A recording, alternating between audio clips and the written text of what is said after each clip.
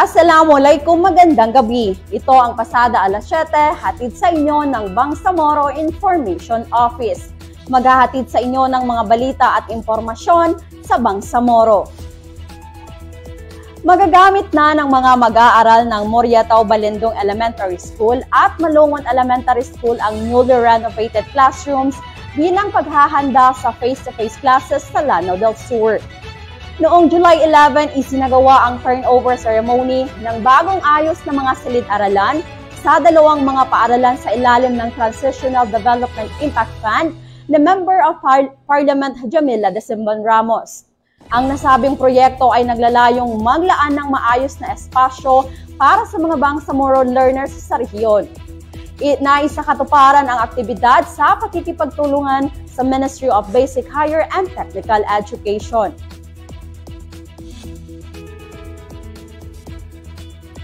Samantala, upang makabahagi ng mas malalim na kaalaman, nagsagawa ng Employment and Career Coaching ang Ministry of Labor and Employment para sa 50 Government Internship Development Program beneficiaries. Noong July 12, 2022, tinungo ng Bureau of Employment, Promotion and Welfare ang, ng MOLE ang Bungaw Tawi-Tawi upang isagawa ang aktibidad. Kabilang sa mga tinalakay ay ang work ethics, career inventory, inventory labor market information, digital literacy at financial literacy. Ang mga nasabing interns ay itinalaga sa iba't ibang ahensya, business firms at NGOs sa probinsya ng Tawi-Tawi. Layo nitong mas lumawag pa ang kaalaman ng mga interns hinggil sa job matching sa pamamagitan ng labor market information at job searching.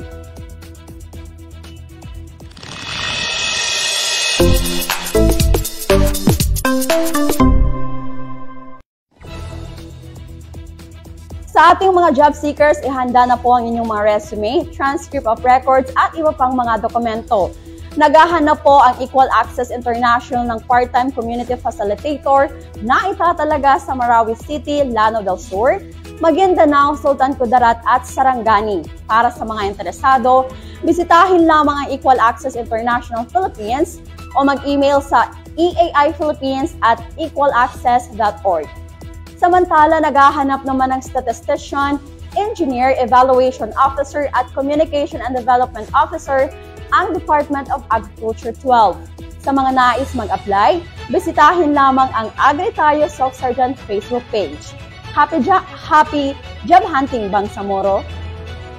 Samantala sa iba pang mga balita, aarangkada na ang mga serbisyo ng Ministry of Social Services and Development sa Cotabato City matapos magpulong si MSSD Minister Attorney Raisa Jajuri sa Cotaba at Cotabato City Mayor Bruce Matabalaw.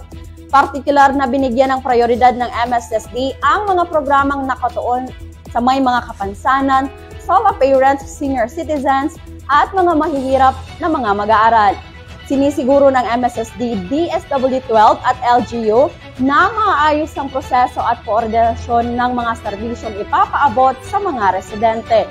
Bahagi din ng kulong ang turnover ng mga pasilidad ng DSWD, DSWD12 sa lungsod patungo sa MSSD BARM. Maliban sa social services, nakatakda ding makatanggap ang lungsod ng Cotabato ng iba't ibang programa at serbisyo mula sa mga ministries ng Bangsamoro Government. Samantala, namayagpag ang ilang Bangsamoro athletes na mula sa BARMM sa isinagawang Pan-ASEAN International Jiu-Jitsu Competition na isinagawa sa Ayala Mall, Manila kung saan 44 na medalya ang inuwi ng grupo. Kaka-proud, di ba? Yan ang kwento kakaibang Bangsamoro.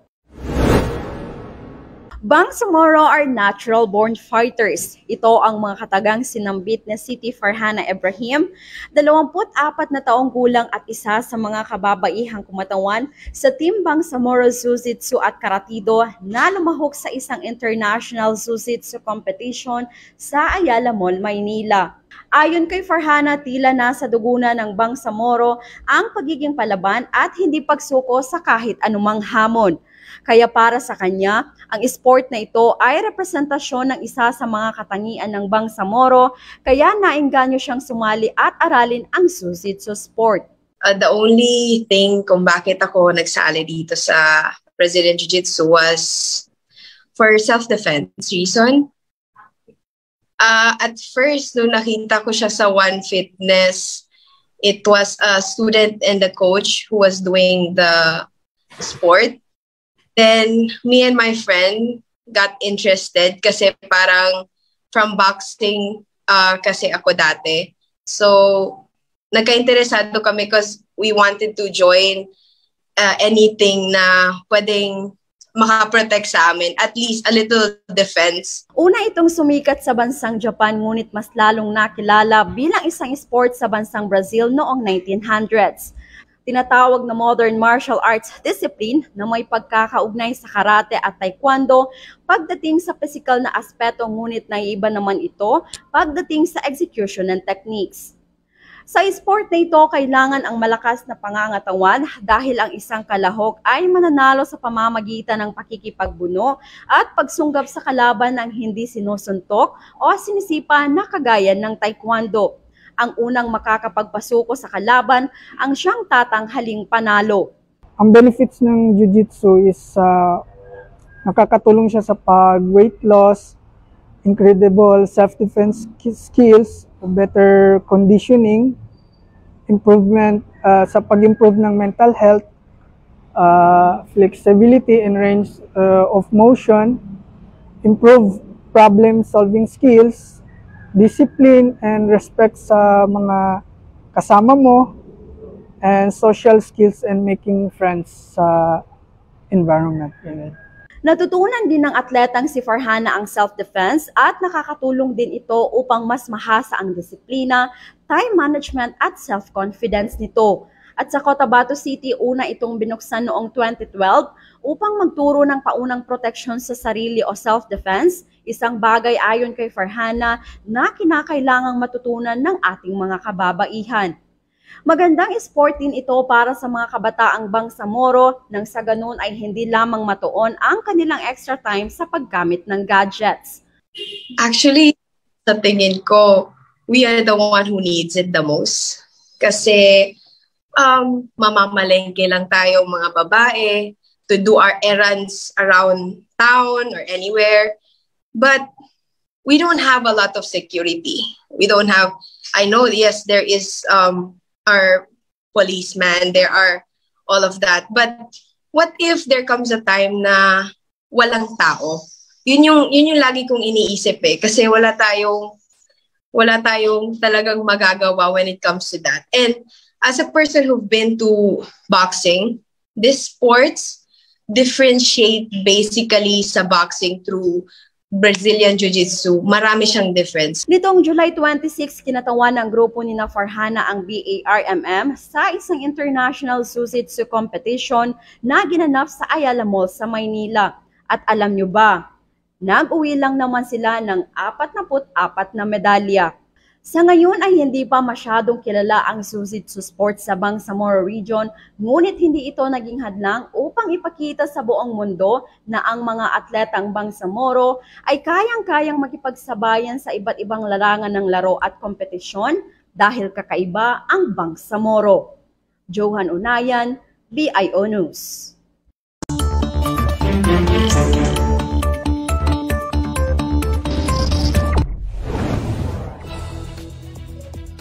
May pag-ulan kaya tayo dito sa Bangsamoro Region. Kamustahin natin ang, pa- ang panahon ngayon mula kay Janada Tuali.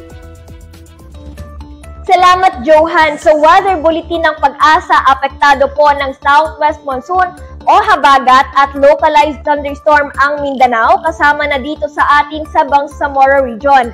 Binabantayan naman ng pag-asa ang low pressure area na namataan 185 kilometers west ng Itbayat, Batanes.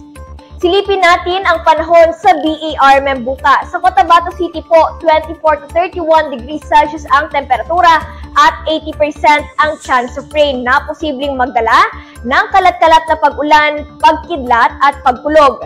Sa Marawi City naman, 19 to 27 degrees Celsius ang temperatura at 100% naman ang chance of rain na may dalang pag-ulan, pagkidlat at pagkulog. Nasa 24 to 29 degrees Celsius naman ang temperatura sa Lamitan at 90% ang tsansa ng kalat-kalat na pag-ulan, pagkidlat at pagkulog. Sa probinsya naman ng Lanao del Sur, maglalaro po ang temperatura sa 18 to 24 degrees Celsius at 100% ang chance of rain na posibleng magdulot ng pagkidlat at pagkulog. Sa Basilan naman, 24 to 29 degrees Celsius ang temperatura at nasa 90% ang chance ang magdudulot ng kalat-kalat na pag-ulan na may kasamang pagkidlat at pagkulog. Nasa 24 to 29 degrees Celsius naman ang temperatura sa Sulu at 80% ang chance of rain at posibleng magdulot ito ng kalat-kalat na pag-ulan. Sa Tawi-Tawi naman, nasa 70% ang chance of rain at maglalaro. Sa 23 hanggang sa 27 degrees Celsius ang temperatura. Sa Maguindanao, 23 hanggang sa 31 degrees Celsius ang temperatura at 100% ang chance of rain. Sa Special Geographic Area naman ng BARMM dyan po sa North Cotabato, nasa 22 hanggang sa 31 degrees Celsius ang temperatura at 90% ang tsansa ng pag-ulan. Sisikat po ang araw bukas ng 5.34 ng umaga at lulubog naman ng 6.4 ng gabi. Balik sa iyo, Johan. Salamat, Jana. Sa ating COVID-19 update, may dalawang panibagong kaso ng COVID-19 ang nanaitala ang Bangsamoro Interagency Task Force sa rehiyon kahapon, July 6 as of, July 14 as of 6 p.m. Sa datos ng BIATF, nasa anim naman ang aktibong kaso kung saan apat dito ay mula sa Maguindanao, isa sa Cotabato City at isa naman sa Lanao del Sur. Pumalo na sa 19,837 ang kabuang kaso ng COVID-19 na naitala sa Bangsamoro Region. Patuloy naman ang hinihikayat ang mga residente na magpabakuna at, at sa mga fully vaccinated naman ay magpa-booster upang mapalakas ang bisa ng immunity laban sa COVID. Magtungo lamang sa inyong health center upang malaman kung saan ang mga COVID-19 vaccination hubs sa inyong mga lugar. At yan ang mga balitang tampok sa pasada alas 7. Paalala mula sa Bangsamoro Government, sa panahon ng pandemya, patuloy na sumunod sa minimum public health standard ng Ministry of Health, sundin ang bida solusyon, bawal ang walang mask, isanitize ang mga kamay, domestansya ng isang metro at alamin ang tamang impormasyon. Sundan din at maging updated sa mga balita at impormasyon sa BARMM. I-like, follow at share ang official social media accounts ng Bangsamoro Government. Bisitahin din ang bangsamoro.gov.ph. Sa ngalan ng Bangsamoro Information Office, ako po si Johan Unayan Dipatuan, taghahatid ng balita sa ngalan ng serbisyo publiko at moral governance. Maraming salamat po. Thank you.